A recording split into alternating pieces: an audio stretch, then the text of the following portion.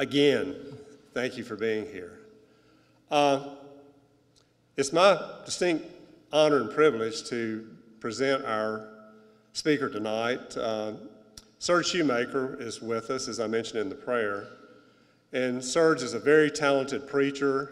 Serge is one of our own. Uh, he was raised at Roebuck Parkway. Of course, Tim and Donna Shoemaker is mom and dad, and his sister Sarah, and they such a wonderful family and faithful. It was.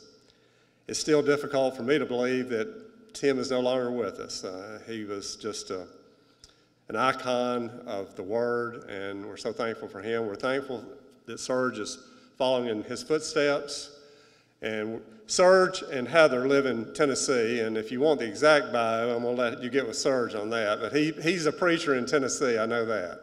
And uh, we're glad to have him here. Without any further ado, I'm going to turn it over to Serge.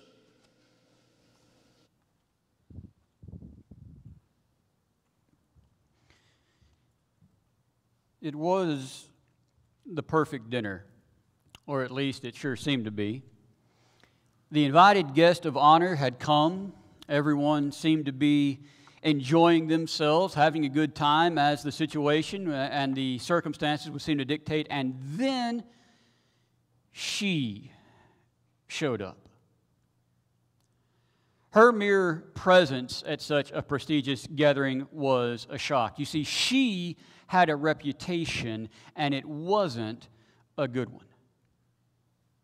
Everybody in the town, everybody at the dinner knew exactly what kind of woman she was. Everyone except, it seemed, the guest of honor.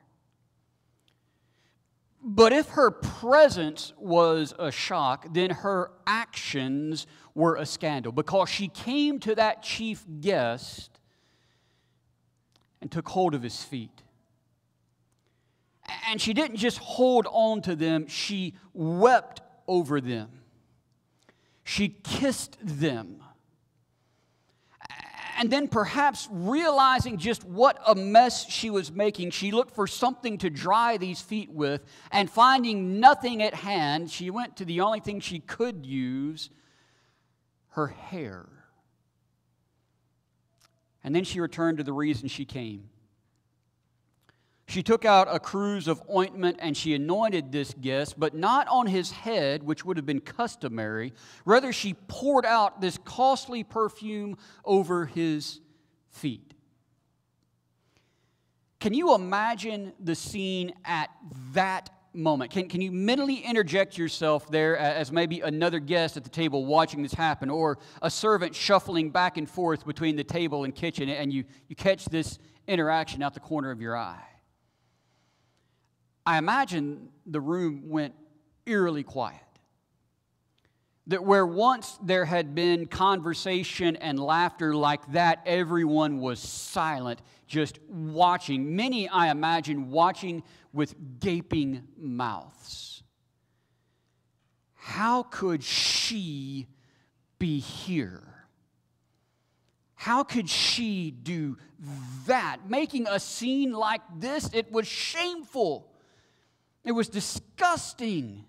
And everybody is waiting for the recipient of her actions to respond. And many of them were expecting him not just to respond, but to put this woman in her rightful place. How dare you touch me? The most curious onlooker was the host. He is the one who had invited this man as guest of honor, but he was also skeptical of him.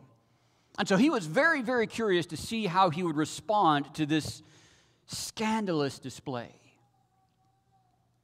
Finally, the guest does speak, and he does offer a rebuke, but it's not to the groveling woman at his feet.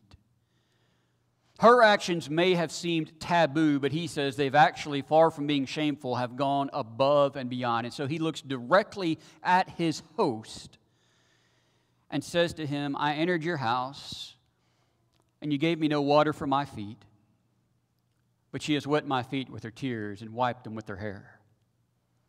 You gave me no kiss, but from the time I came in, she has not ceased to kiss my feet. You did not anoint my head with oil, but she has anointed my feet with ointment. What prompted this vastly different response between the respectful host and this reprehensible woman? Well, the guest further explains Therefore, I tell you, her sins, which are many, are forgiven. For she loved much.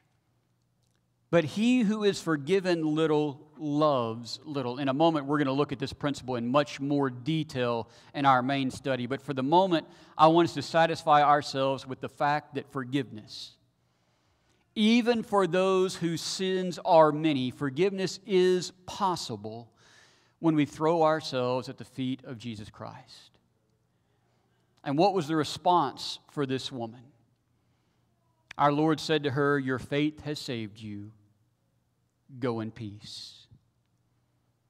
How many people do you think left this shocking display at this banquet in peace? I suspect not many. And I also suspect no one left with greater peace than this woman. And here's the great, glorious thing of the gospel of Jesus Christ the same peace is available for us when we respond in faith, a faith that motivates us to do as Christ asked. So, what did he ask? He asked us to believe in him as the Son of God. Unless you believe that I am He, you will die in your sins. John 8 and verse 24. He asked us to make a public confession of that faith. So, everyone who acknowledges me before men, I also will acknowledge him before my Father who is in heaven. Matthew 10 and verse 32. He asked us to renounce our former behaviors, what we call repentance. Unless you repent, you will all likewise perish. Luke 13 and verse 3. And he asked us to be immersed in water for the forgiveness of our sins, saying, Whosoever believeth and is baptized shall be saved. Mark 16 and verse 16. It's not a complicated formula, it's not a complicated instruction. The only question is have you done those things? And if not, will you do so tonight? And if you have done those things, I remind you there's one more thing our Lord asks of us to live faithfully unto him. Be faithful unto death, and I will give you the crown of life. Our Lord's forgiveness and your peace are available tonight. If you need to respond to our Lord's invitation to be baptized into Christ for the forgiveness of your sins, or to come back to your Lord and rededicate your focus and faithfulness to Him, won't you please come as we stand and as we sing?